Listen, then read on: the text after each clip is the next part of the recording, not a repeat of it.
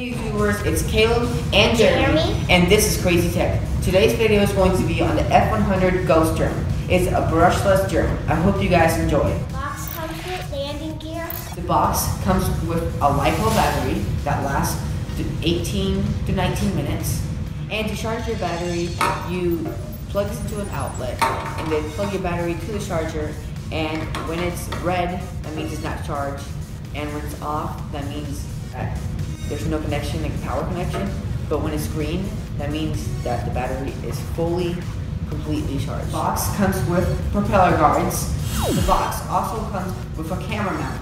You can mount your GoPro, Hero 3, or Hero 4, or a regular camera that fits in it.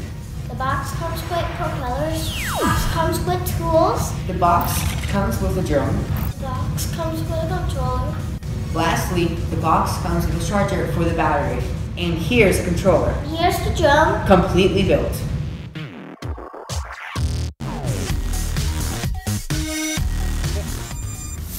As I mentioned before, you can add a camera to the drone. It can be a GoPro, Hero 3, or Hero 4. To connect the drone with the controller, you turn on the controller.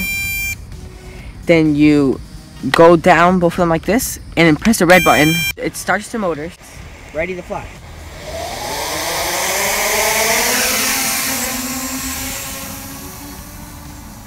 It can do back flips, front flips, side flips, Please like. and subscribe this video.